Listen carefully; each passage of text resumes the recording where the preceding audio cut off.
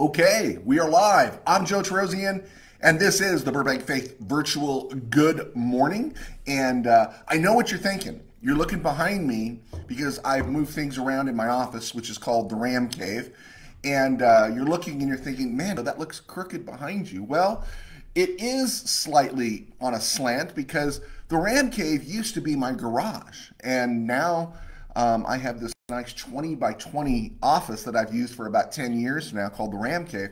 And so it is kind of on a slightly downward slope. There's nothing I can do to fix it, you know. Oh, there it is. That better, you know. So uh so no. So there is that slight thing there.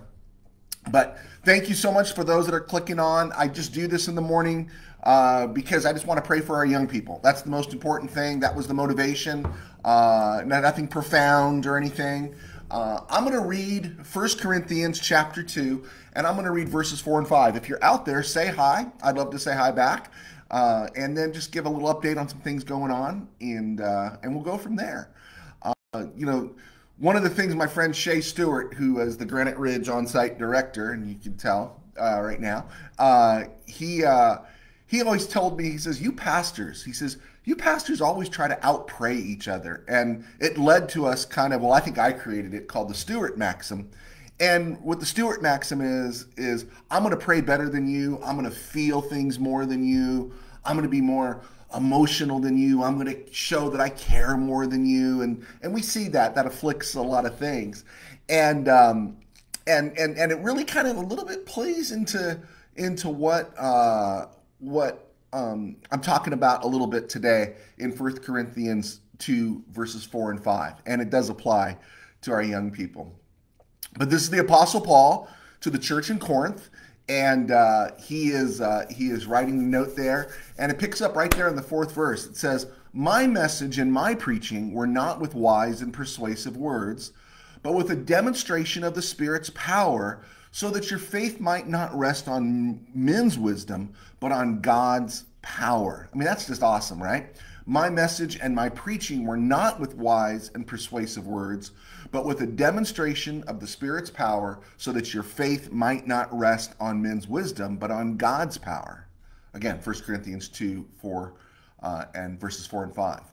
And this is where we inflict misery in the church. We read this scripture and and it's so counterintuitive because in the church we're always going to do something, right? We're going to do something. We're going to come up with a new plan, right? We're going to thrust to the cities. We're going to have urban renewal. We're going to have social justice. We're going to do all these things. Instead of just focusing on the truth we already know and the obedience it requires, we kind of put those things off to the side and we decide we're going to do some big thing. We decide that we're going to out God God. And that is the Stewart Maxim to the hilt, right?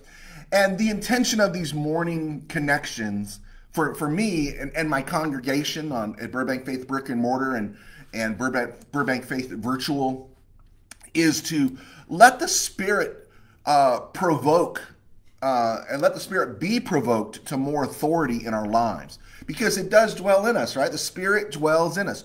We are fit for sacred space. Our hearts are, are we are God's temple. He abides within us, but we don't give him full control because we have still free will. But the intent is is to is to give the spirit, to provoke the spirit in our lives to have more authority, right? And this would allow us to be able to see and sense the spiritual battle taking place all around us. And we realize it's just not some soul soothing quick fixes, but obedience, right? Focusing on the truth of God's word. And uh, we want to be able to see the spiritual battle, especially when we consider our young people. And, uh, and that's who we pray for every day as I try to keep this thing under 10 minutes. Uh, and the explanation for this, because you've heard me pray all week. And I, I've prayed this in my private prayer, in, I think I've prayed it in church. Uh, but the explanation is I pray, I do, folks. I pray every day for the destruction, not the appeasement, but for the destruction uh, of the forces, the spiritual forces and the demonic aligned against God. And if they're aligned against God, they are aligned against us who are created in his image in the heavenly realms, right? We don't make peace with these creatures. We don't make peace with these uh, spiritual beings. No, if they are at war with God, they are at war with his image, which is us. So, because of what they do, you're going to think, wow, Pastor Joe, you're going off the rails here. No, I'm not. Because of what they do, I hate them and I want them destroyed. I do. I hate them. In the, in the scripture, it says in Romans, hate what is evil, cling to what is good, right? And uh, we need to understand the damage they're doing, uh, ruining, uh, diminishing the image of God, uh, destroying those who God created. Uh, and uh, we need to see that. And who's most like the kingdom?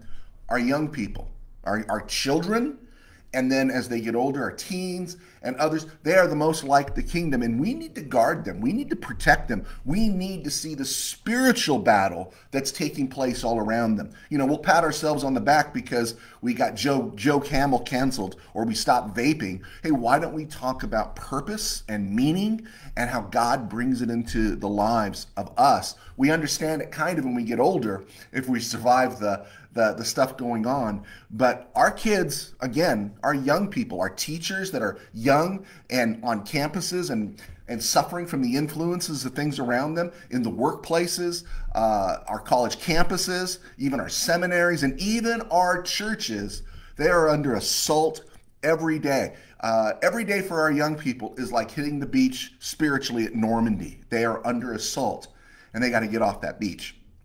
So our responsibility is to pray for them and, and seek God in contending and joining with God in contending with them.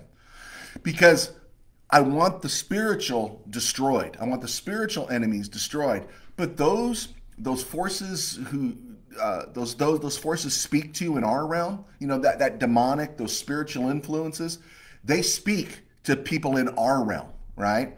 And uh, I do not want those in our realm destroyed. Okay, I want those the evil in the heavenly realms destroyed, but I don't want people who are bearing the image of God destroyed. I want them to see God. And I want them to come to reject those dark influences. And if that means they have to lose their platform, lose their voice, their standing, and be visited with a healthy dose of shame, yeah, shame can be a good thing. I want that to happen because what can follow is reconciliation with the Lord. And that's what I want. I don't want those professors and those those those people in, in, in Congress and who do such despicable things.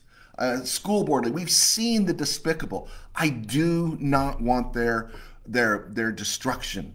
I want them to see God.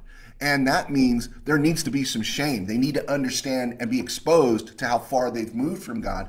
And we need to do it to the best of our ability through prayer and the power of God. We don't need another program, we don't need another um, system set up.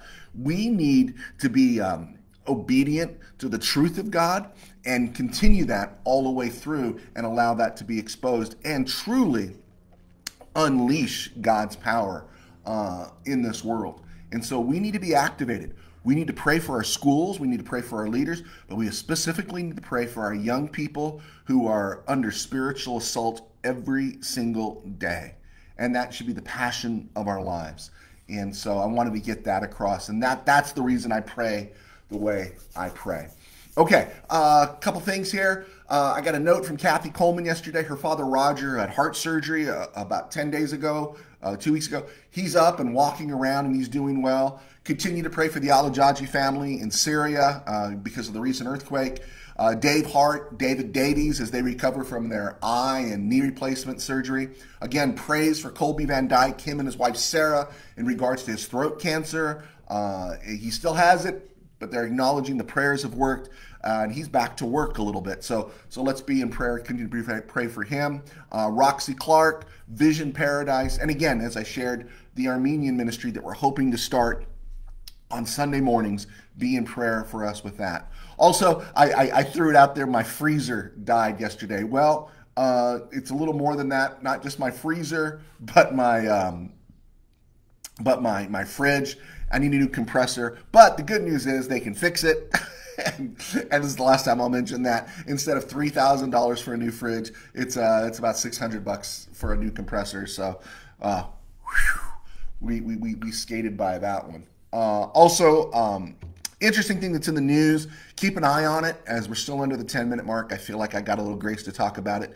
There's there's st- stuff popping up in my feed about Asbury College. It's a small college, uh, private Christian college in Kentucky.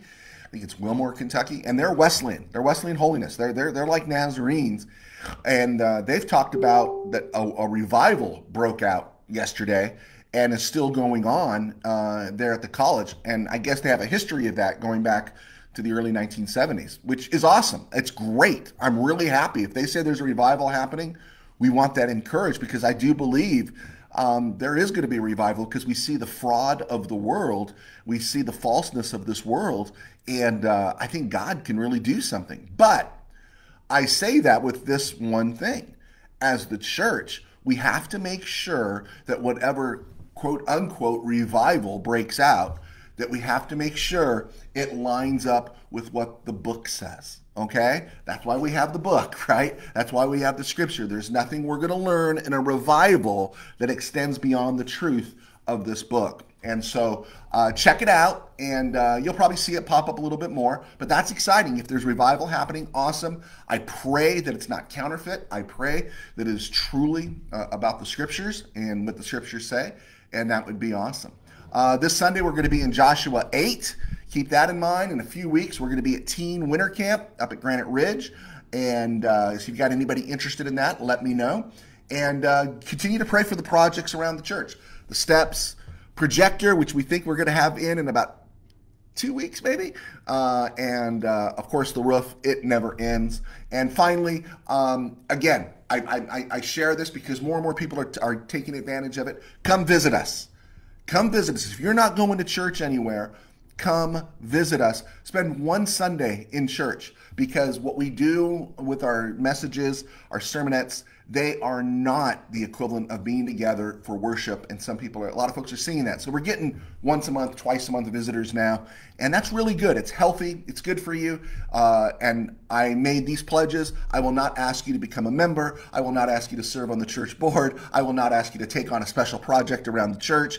And I'll even say, if you don't, if you're if you're not tithing anywhere, of course you could tithe to us. I want you to tithe to the church you're a part of. But if you're not going to church and you want to tithe to us, great. But I'm not going to ask you for your tithe. I'm going to let the Lord lead you on whether or not you want to tithe or be involved in anything else at the church. We just know it's good for us to be in the house of the Lord together. Hey, that stretches all the way back to Psalms. Anyway, God bless. Let's pray, and then uh, I'll let you guys go.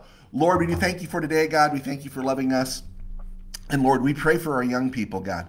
We pray for them as they hit the campuses today, Lord, and those young teachers that are those teachers that are on campus, not just young ones, that there is a, a different influence that's in our world today, God. And uh, Lord, we pray for them. We pray for all of our campuses, God. We pray for spiritual protection, Lord. We pray for the eyes of our young people or even our children, God, as well as our teachers, our, our leaders in the community, police officers, all of them, to have their eyes opened to see that there's a spiritual battle taking place around them.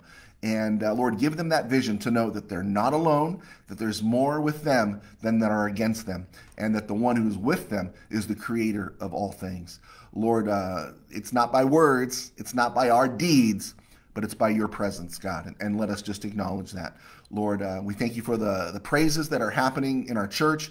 We thank you for the victories that are happening. And we pray for the continued recovery of those souls that uh, just need a physical touch, Lord.